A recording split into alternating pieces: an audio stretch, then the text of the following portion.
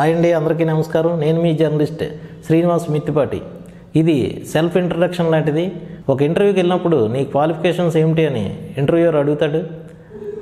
అలాగే మీ సోషల్ మీడియాలోకి వచ్చే ముందు మీ అందరికీ నా గురించి కొన్ని విషయాలు కెరీర్ గురించి నేనేం చేశాను ఇవన్నీ చెప్పాలని ఈ వీడియో చేస్తున్నాము ఇన్ని కోట్ల మంది ఉన్న సోషల్ మీడియాలోకి వచ్చేటప్పుడు ఇంతకీ ఇతను ఎవరైనా అందరూ ఆలోచిస్తూ ఉంటారు. అందుకే నా కెరీర్ గురించి కొన్ని విషయాలు మీతో షేర్ చేసుకోవాలనిపించింది. నా గురించి చెప్పాలంటే పర్సనాలిటీ డెవలప్మెంట్ పుస్తకాలు చదివే పాఠకులకు జర్నలిజంలో ఉండే మిత్రులకు నా పేరు సుపరిచితం. ఈనాడు లాంటి అగ్రశ్రేణి పత్రికలో పదహారు సంవత్సరాలు ఏబిఎన్ ఆంధ్రజ్యోతిలో ఏడు సంవత్సరాలు చీఫ్ సబ్ ఎడిటర్ హోదాలో పనిచేశాను. పలు విద్యాలయాల్లో పర్సనాలిటీ డెవలప్మెంట్ క్లాసులు చెప్తూ ఉంటాను. అలాగే ఈనాడులో పనిచేసేటప్పుడు ఈనాడు జర్నలిజం స్కూల్లో స్టూడెంట్స్కి క్లాసులు చెప్పేవాడిని.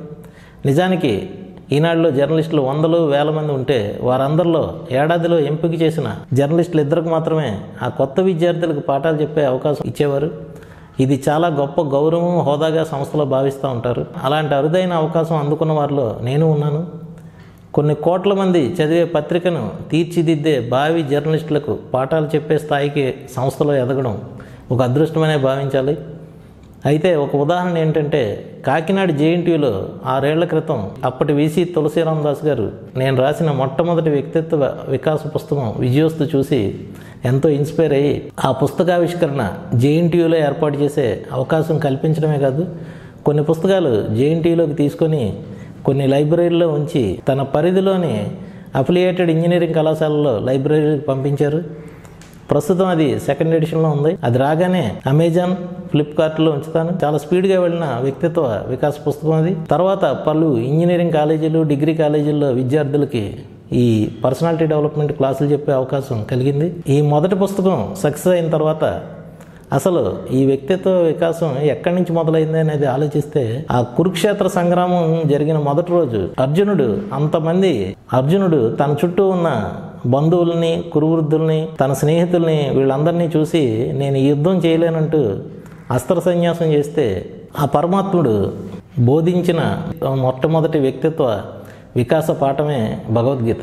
తిరిగి అర్జునుని కార్యోన్ముఖుడిగా మార్చిన అత్యంత శక్తివంతమైన భగవద్గీతను సాక్షాత్తు ఆ భగవంతుడే బోధించిన ఆ మహాగ్రంథాన్ని అత్యంత సులువుగా సామాన్యులకి ముఖ్యంగా ఇంగ్లీష్ మీడియం చదివే కార్పొరేట్ విద్యార్థులకి సాఫ్ట్వేర్ ఉద్యోగులకి అర్థమయ్యేలా పత్రికా భాషలో రాశాను. ఆ గ్రంథం పేరు గుణ.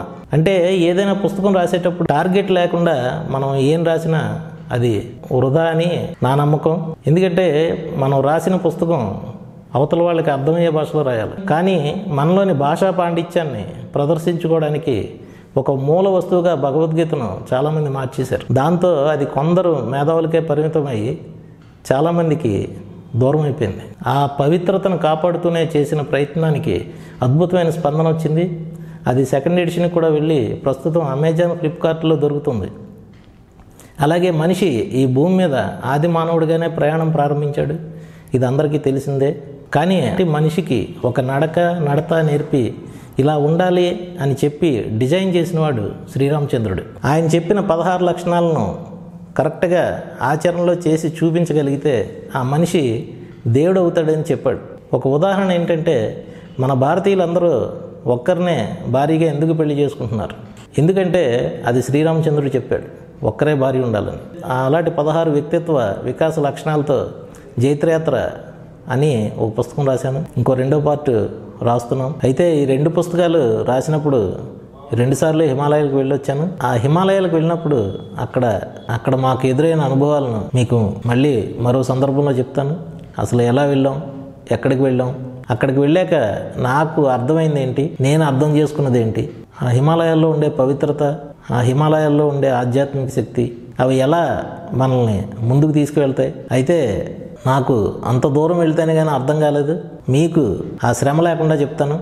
ఇక జర్నలిస్ట్గా చెప్పాలంటే ఏబిఎన్ ఆంధ్రజ్యోతిలో చేరిన తర్వాత చారిత్రాత్మకమైన ఆంధ్ర తెలంగాణ విభజన సమయంలో అత్యంత సున్నితమైన హైదరాబాద్ సిటీ ఎడిషన్కు ఇన్ఛార్జిగా పనిచేశాను. ఆ టైంలో పత్రికలో ఎటువంటి వార్తలు వచ్చినా సరే ఇటు ఆంధ్ర వార్తలు వస్తే తెలంగాణ వాళ్ళు తెలంగాణ వార్తలు వస్తే ఆంధ్ర వాళ్ళు ఆ పత్రిక మీద తమ కోపాన్ని చూపించేవారు. అలాంటి ఆ హైదరాబాద్ సిటీలో ఆ టైంలో అత్యంత సున్నితమైన పరిస్థితుల్లో ఎడిషన్ ఎటువంటి ఇబ్బంది లేకుండా ఎటువంటి ఒడిదుడుకులు లేకుండా సమర్థవంతంగా నిర్వహించాం. ఇది జర్నలిస్ట్గా ఛాలెంజ్ అని చెప్పాలి. అలాగే మన భారతీయ ఆధ్యాత్మిక శక్తిని జన ప్రపంచనాన్ని ప్రపంచానికి చాటి చెప్పే ఒక అరుదైన గొప్ప అవకాశం పన్నెండేళ్ళకు ఒకసారి వచ్చే గోదావరి మహాపుష్కరాలు.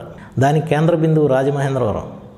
అక్కడికి వచ్చే జన ప్రవాహాన్ని చూసి ప్రపంచమంతా భారతదేశంలో ఎంత గొప్ప ఆధ్యాత్మిక శక్తి ఉందా అని ఆశ్చర్యపడే ఆ మహాపుష్కరాల కవరేజ్ని తీర్చిదిద్దే ఆ పుష్కర స్పెషల్ డెస్క్ ఇన్ఛార్జిగా బాధ్యతలు నిర్వహించాను. ఇక ఆఖరిగా ముఖ్యమైనది ఏంటంటే ఏ పత్రికైనా ప్రాణం లాంటిది ఎడిటోరియల్ పేజీ. అది ఎంత గొప్పగా ఉంటే పత్రిక స్థాయి అంత గొప్పగా ఉంటుంది.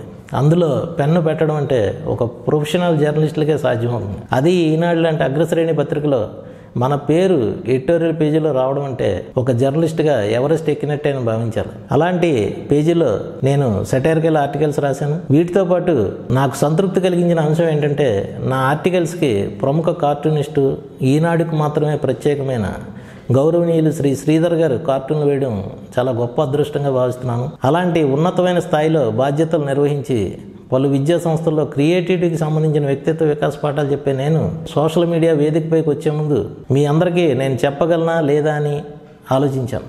అసలు ఈ సోషల్ మీడియాలో ఎవరెవరు ఉంటారు అనుకున్నప్పుడు నాకు మీ అందరూ కనిపించారు. కోటాను కోట్ల మంది భిన్న దృక్పథాలతో భిన్న ఆలోచనలు భిన్న అభిప్రాయాలు భిన్న భావ వైరుధ్యాలు భిన్న సంప్రదాయాలు ఆచారాలు భిన్న ప్రాంతాలు భిన్న చదువులు. అంటే ఐఏఎస్ చదివిన వాళ్ళు ఉంటారు? అక్కడే ఐదో తరగతి వరకే చదివిన వాళ్ళు ఉంటారు. కలెక్టర్ ఉంటాడు అక్కడే బంట్రోత్ ఉంటాడు పోలీసు ఉంటాడు పదివేల రూపాయలతో పైకి ఎదిగినోడు ఉంటాడు షేర్ మార్కెట్లోకి వెళ్ళి కోట్ల రూపాయలు పతనం అయిపోయినోడు ఉంటాడు. ఆడ మగ పిల్ల పెద్ద ఇంకా మొబైల్ పట్టుకుని గోరుముద్దలు తినే వయసు నుంచి ఎనభై ఏళ్ళ వృద్ధుల వరకు రకరకాల వయసులో ఉన్న మనుషులు ఇక్కడ కొలువు తీరున్నారు వీరందరూ ఒక వేదికపైకి వస్తారు. అది కూడా ఇది కూడా ఒక సమాజమే. కాకపోతే మనం అందరం భూమి మీద కలుసుకుంటాం కానీ ఇక్కడ ఆన్లైన్లో కలుసుకుంటాం. మీరు నివాసం ఉండేది ఒక వీధిలోనో ఒక ఊర్లోనో ఒక పట్టణంలోనో ఒక ఆఫీసులోనో అయితే ఈ ఆన్లైన్ సమాజం ఈ ప్రపంచం అంతా కలిసి ఒక చిన్న కుగ్రామంలో మారి మన అరచేతిలో మొబైల్ ఫోన్లో కనిపిస్తుంది. ఇక్కడ రైలు బస్సు కారు విమానాల్లో ప్రయాణం చేసేవారు. మనతో మాట్లాడుతూ ఉంటారు.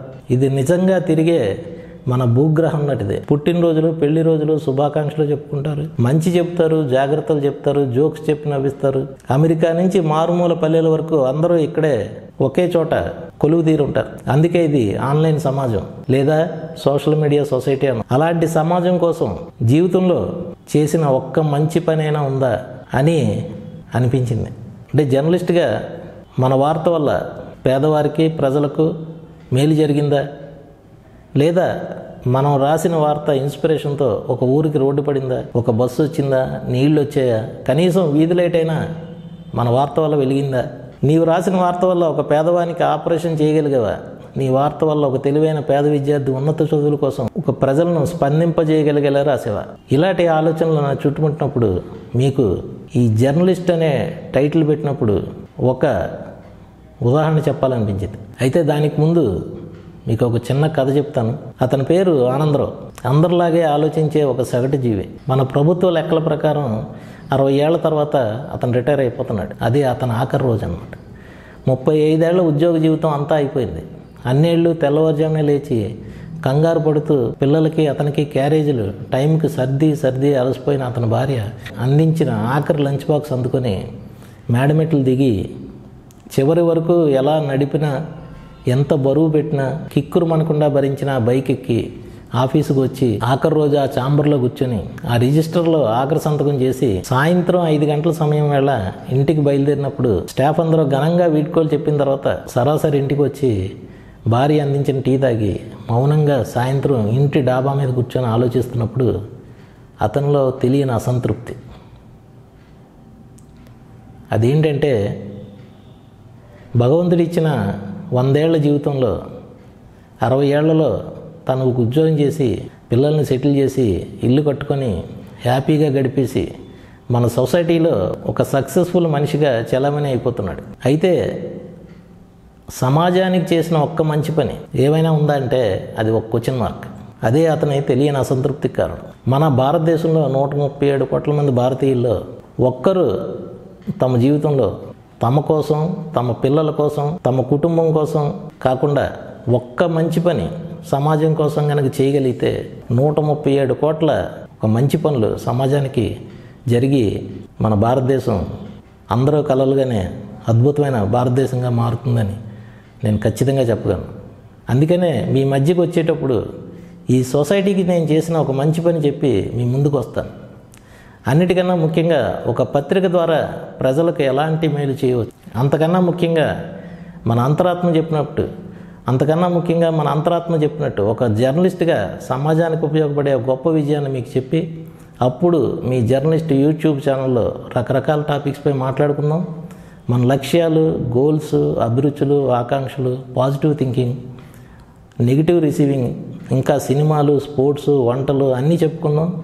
కొత్త జర్నలిస్ట్ ప్రపంచంలోకి వెళ్ళే ముందు అక్కడికి దగ్గరలో ఉన్న బెల్ బటన్ను కొంచెం నొక్కండి.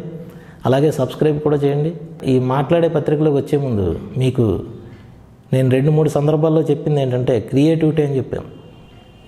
ఆ క్రియేటివిటీకి సంబంధించిన ఒక ఉదాహరణ చెప్పి నేను తిరుపతిలో పనిచేసేటప్పుడు బ్రహ్మోత్సవాలు వచ్చాయి. ఆ బ్రహ్మోత్సవాల్లో ఒక చక్కటి గ్రాఫిక్ చేసాం ఆ గ్రాఫిక్ చూసి టీటీడీ బోర్డు దాన్ని ఇన్స్పైర్గా తీసుకొని ఈరోజు మన వెంగమాంబ అన్నదాన సత్రంలో దాన్ని పెద్ద డిజిటల్ పోస్టర్లో దాన్ని డెవలప్ చేయడం గొప్ప విశేషం.